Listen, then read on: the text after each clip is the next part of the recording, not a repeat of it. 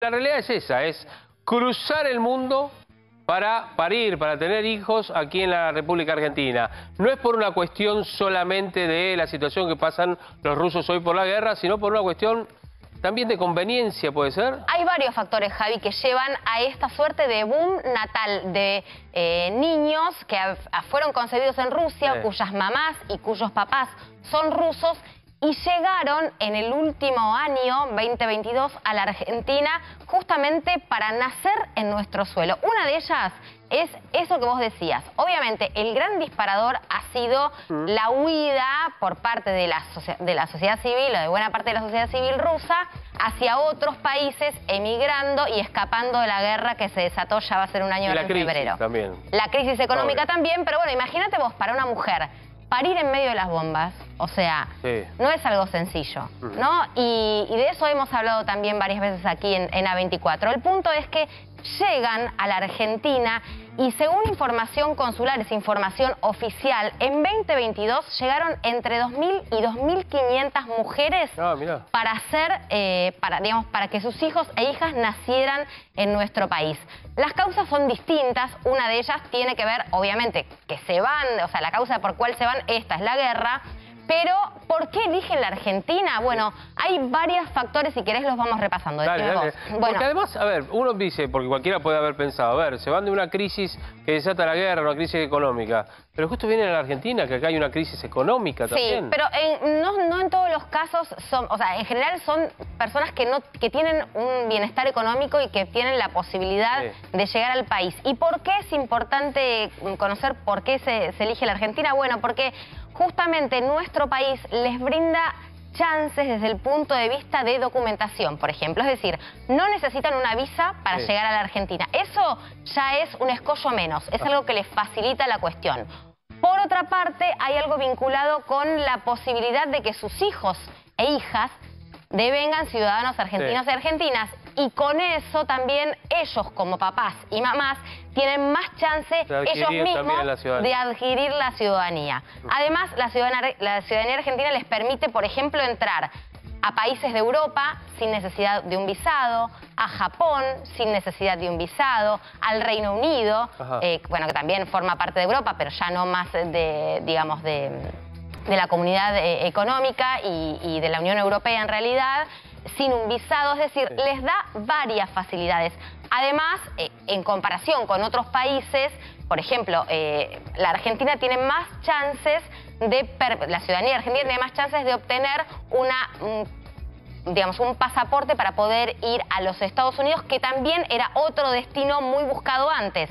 Antes este turismo que se está haciendo, suerte de turismo natal o neonatal, que se está haciendo es, justamente para eh, permitirles, eh, digamos, llegar acá al país y no ir a otros lugares de Estados Unidos. Bueno, bueno, ahora vamos a seguir explicando justamente esto, pero digamos el fenómeno, ¿no? Eh, de que muchas mujeres vienen a tener sus hijos aquí en la Argentina de Rusia llama mucho la atención. Y uno de los lugares donde han nacido varios... diría que es el lugar. Argentinos hijos de rusos. El lugar. ¿sí? El lugar exacto es en el Sanatorio Finoquieto. Y ahí está Guillermo Murphy. Guille, ¿cómo te va? Buenas tardes. Hola Javier, ¿qué tal Luciana? Un saludo para los dos. Efectivamente, ustedes hablaron la parte legal, la parte económica, la parte socioeconómica, pero la parte médica está el doctor Guillermo Capulla, que obviamente es el que sabe, la tiene clara y ya los está escuchando para, bueno, dar también la opinión médica con respecto a este fenómeno. Hola, Doc. Hola, ¿qué tal? Hola, Guille. ¿Cómo estás? Verlos de este, de este lado de la cámara. Sí, exactamente. en serio. Y verte con guardapolvo. Hace mucho que no te veo con guardapolvo. Siempre tiene el ambo en el corazón. con saco y corbata. Porque nos vemos, acá, porque nos vemos acá en el canal y en canal está esa con corbata. Pero ese es el uniforme que tiene obviamente en el sanatorio. Es que mi vida fue siempre en guardapolvo. Claro, exacto. Hice colegio primero en guardapolvo, secundario en guardapolvo, facultad en guardapolvo y, luego en guardapolvo. Y ahí está, tal cual. Así que siempre. Bueno, bueno claramente lo que decían ustedes es correcto. Eh, muchas mujeres embarazadas viajan de Rusia hacia Argentina. Ustedes hablaron claramente del tema geopolítico, que es correcto, es perfecto lo que ustedes han dicho, pero hay un tema acá central que tiene que ver con lo que es la atención médica, la asistencia médica de Argentina y puntualmente, como decía Luciana Arias, que también tuvo su bebé acá, su bebé acá. Sí, claro, Martina nació ahí, sí. Es la atención que reciben acá en el sanatorio. Así es. Y Javier también conoce el sanatorio. Sí, sí. Eh, la gente vino acá no a través nuestro, sino a través de primariamente de una agencia que traía a mujeres rusas embarazadas, ya con varios meses, varias semanas de embarazo. Y a través de el boca a boca, el sanatorio fue generando, fue creando una confianza, una red de confianza en las mujeres rusas y viniendo aquí hacia Buenos Aires. Nosotros no hicimos ningún tipo ni de campaña publicitaria ni nada que se asemeje a eso y recibimos a las pacientes como cualquier paciente particular que viene aquí al sanatorio a tener familia. Llegan aquí, eh, van al, departamento de obstetricia, es un departamento grande, hacemos muchos partos mensualmente, el servicio de anatología es un servicio muy grande también. Acá esa atención centrada en el paciente, hacen la primera entrevista con el jefe generalmente de obstetricia, el doctor Manrique, allí planifican eh, qué tipo de, parto va a tener la, persona, la mamá, y en base a eso se eh, hace un presupuesto, ese presupuesto está en español y está en idioma ruso, justamente para facilitar la comunicación, que de hecho es bastante sencilla porque muchas veces vienen con un traductor.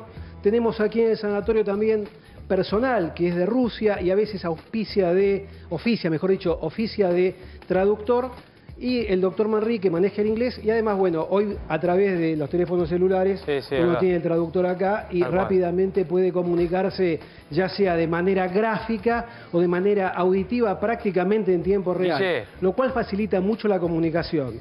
Sí. Y te, quería preguntar, a ver, ¿qué dicen las, las mamás a propósito de esta decisión, ¿no? Cuando hablan con el médico y que seguramente en los primeros primeros nacimientos les deben haber preguntado, ¿por qué eligen? ¿Por qué vienen acá a la Argentina? Bueno, hablamos del tema geopolítico y el tema también de que, de que el bebé nazca en un lugar de primer nivel a un costo para ellos relativamente más bajo que lo que es Estados Unidos o lo que es Europa, es bastante más bajo a nivel, digamos, si hablamos a nivel este, dólar, les conviene por eso y además, por supuesto, les conviene porque es un lugar que tiene atención centrada en el paciente, parto humanizado, una terapia neonatal de primer nivel y además, básicamente, básicamente la recomendación viene por que no pueden creer lo que es la atención aquí en la República Argentina y particularmente acá en el sanatorio, que es la misma atención que le damos a todo el mundo, ¿no? Porque eh, ellos no reciben ningún trato preferencial, ningún arancel distinto. Es como cualquier persona de Argentina o de países limítrofes que vienen muchos aquí a, no solamente por temas de obstetricia, sino también por temas cardiovasculares, cirugías programadas ortopédicas, etcétera, etcétera, de Estados Unidos, principalmente de la Florida, Nueva York y California, que hay mucha comunidad latina, y también de Europa, viendo lo que está pasando, eh, digamos, en el mundo complicado. Y Argentina es un buen lugar somos la verdad que hospitalarios, recibimos bien a la gente. Acá la gente viene por un tema médico y realmente se va muy satisfecha por la atención. Y los partos han ido creciendo a través de los últimos meses. El mes pasado hemos tenido cerca de 50 partos, que es mucho eso, es mucho. Muy pocas mujeres no pueden este, llegar a los aranceles y van a hospitales públicos de la Ciudad de Buenos Aires o del interior del país, sí. Guille, eh, leía también que hay algunas agencias ¿no? que articulan como, como mediadores o mediadoras de estas, de estas eh, mujeres, de estas familias que se constituyen finalmente acá en la Argentina. Eh, vos hablabas de un número, esos 50, ¿a, ¿a cuándo refieren? ¿A todo el año? No, no, no, al mes de diciembre estoy hablando. Solo diciembre. Fue creciendo en los últimos seis meses. Sí, sí, fue creciendo muchísimo en los últimos meses y a través justamente de la recomendación boca a boca de mujeres embarazadas, mujeres rusas embarazadas, cada vez tenemos más demanda acá en el sanatorio ah, sin hacer obviamente ninguna, ningún tipo de promoción ni de publicidad porque no es el estilo. Nosotros no hacemos turismo médico, no, no, no no nos ocupamos ni del alojamiento ni nada, simplemente hacemos todo lo que es el tratamiento médico de la paciente y la contención, por supuesto, de la este familia. Sanatorio centrado en la paciente y la familia. Guillermo, a ver, ¿y, cuánto es la variación porcentual? No te pido el dinero, algo que lo puedas contar. Eh, la diferencia que hay entre que nazca en Rusia y que nazca aquí en la Argentina, digamos. Lo tengo que decir así para que se entienda, pero no, no, lo tomen a mal. La diferencia que hay entre pagar allá y pagar acá. ¿Eh? Sí. No conozco los aranceles de Rusia, pero sí en Estados Unidos todos los procedimientos médicos, ya sea internación, en cama común, terapia intensiva, cirugía cardiovascular, obviamente son mucho más convenientes en la República Argentina, con el mismo nivel médico y con superior calidad de atención personalizada. Eso desde ya tuve la oportunidad de trabajar en Estados Unidos y la verdad que la atención que se le da a los pacientes en la República Argentina, particularmente, bueno, puedo hablar donde yo trabajo, eh, es totalmente diferente. Acá la contención es, muy importante y de hecho muchas mujeres vienen solas al principio, a veces llegan eh, las parejas a acompañarlas, a veces no. Y después, bueno, este, la, digamos, la familiaridad, lo que somos los argentinos nosotros, hace que muchas parejas decidan quedarse a vivir en la Argentina, bueno, lo cual ya nos excede porque pasa a ser un tema de ciudadanía que no tiene nada que ver con nosotros. Claro. Imagino, Guille, que para ustedes también recibirlas eh, es bueno, por un lado un desafío, digamos, desde el punto de vista que decías, de, lo idiomático y demás, pero también es recibir a mujeres que vienen de una situación traumática. Yo me pongo en, ese, en ese momento de tener, digamos, de que irte con una mega panza, además hay un límite de tiempo en el que vos podés volar, tener que dejar toda tu vida para poder eh, justamente parir en un país donde, donde no hay guerra, también debe ser eh, algo que ustedes consideran desde el punto de vista profesional, psicológico, ¿cómo es eso?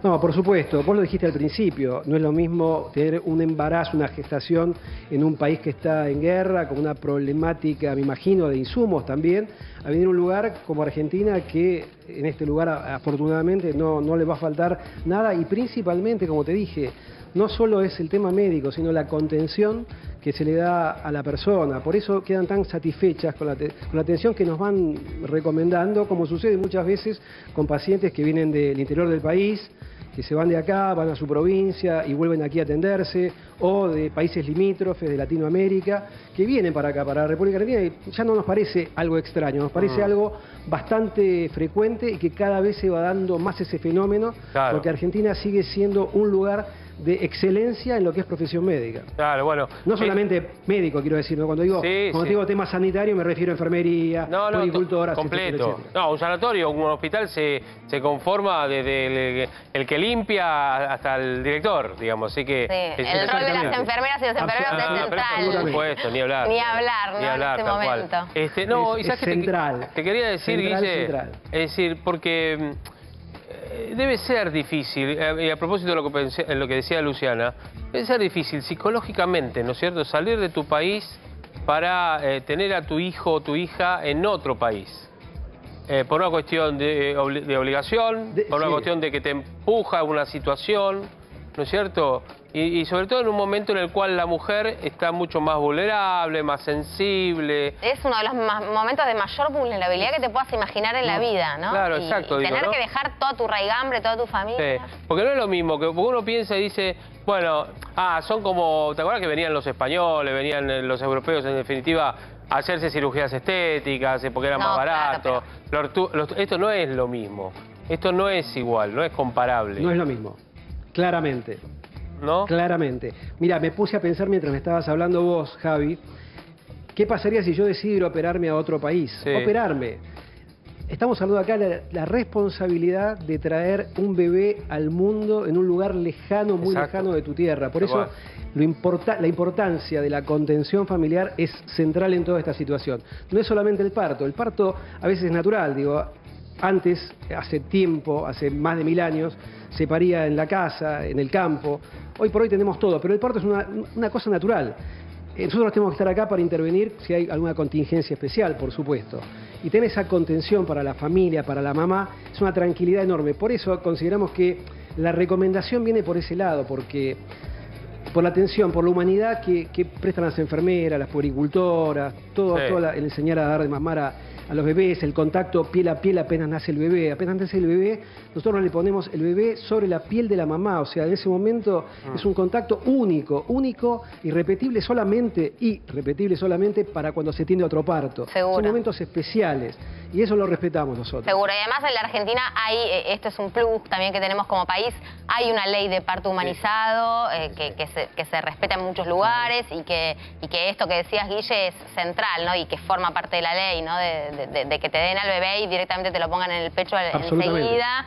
Para, bueno, para garantizar, por ejemplo, la lactancia, que va a ser algo central para la salud pública. Pero no se quedan acá, eh, ¿no? O se quedan un tiempo y después Lo se van. ¿no? Hay algunos casos, eh, no sé, Guille, vos que conocés si es que ustedes siguen después las Exacto. victorias, pero hay algunos casos que se quedan, ¿eh? Hay algunos quedan casos en el que país se y quedan. otros que se van.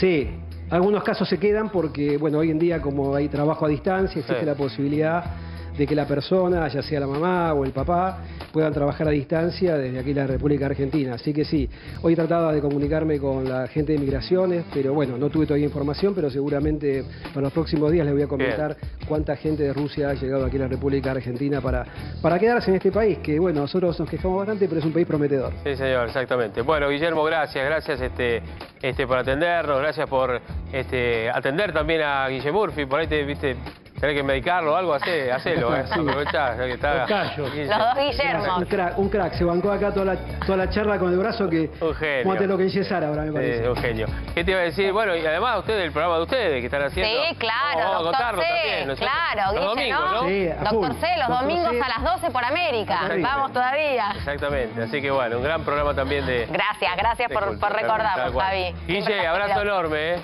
Gracias a ustedes. eh. Hasta luego. Abrazo gigante, gracias a todos. Y al otro Guille también, por supuesto, ¿eh? a Murphy. Gracias, Guille, también. Bueno, bueno, una linda nota y también para que tengan en cuenta que si hay muchos rusos en la ciudad de Buenos Aires, es también, es también por este tema.